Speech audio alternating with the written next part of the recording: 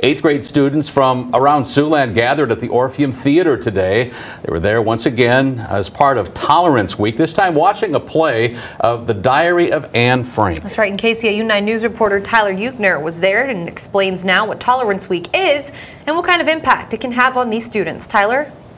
Thanks, Tim and Sophie. Tolerance Week was started in 2005 after Jerry and Kathy Weiner saw the film Paper Clips, a story about a group of Tennessee teachers searching for an effective way to teach students about the scale of the Holocaust.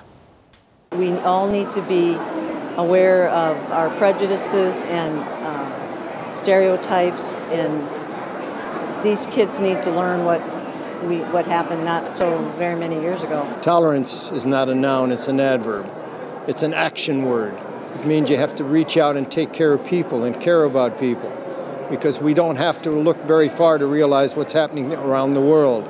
Ukraine is a perfect example of intolerance. Nazi Germany was a uh, state sponsored intolerance. Tolerance Week has taught hundreds of thousands of students over the years to stand up for what's wrong and how to make a difference in the world. It's not going to change the world at once, but just a little bit. You change one person, you help someone try to be their best self. You believe in integrity, principle, and honor, and you not only talk about it, you live it. It becomes part of your psychic being. A tradition for Tolerance Week is to bring in a Holocaust survivor and tell their story about what they experienced. However, as time passes, there are fewer speakers to share their stories.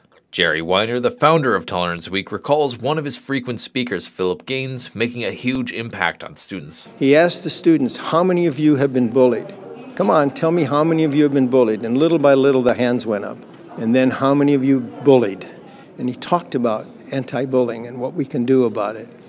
And I saw, I felt, not I saw, I felt an awakening, something inside some of these kids like, what the heck have I been doing? Weiner says soon Tolerance Week might rely on stories like the Diary of Anne Frank the story of a young Jewish woman who left a diary behind depicting her family's and friends' time in hiding from Nazi Germany before being taken to a concentration camp. Will it make the same impact as a survivor telling his or her story?